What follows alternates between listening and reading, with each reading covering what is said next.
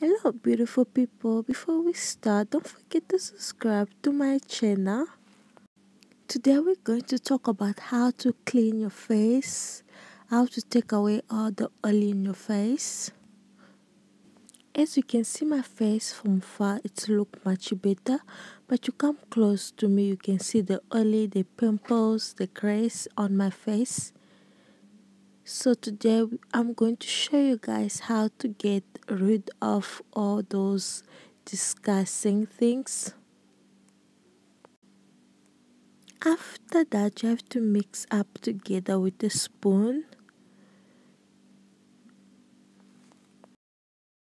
So guys we're going to use lemon and maize meal trying to mix those two things together. Make sure you squeeze all those juicy of lemon out and mix it up together.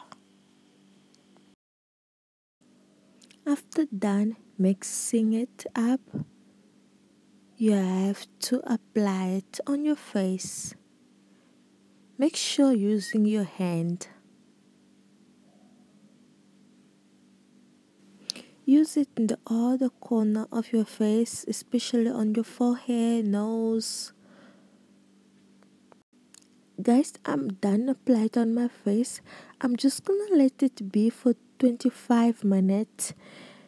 And after 25 minutes, I'm going to wash my face. Make sure you wash your face properly. Don't forget to try it at home as well and let me know what you think about it. Bye.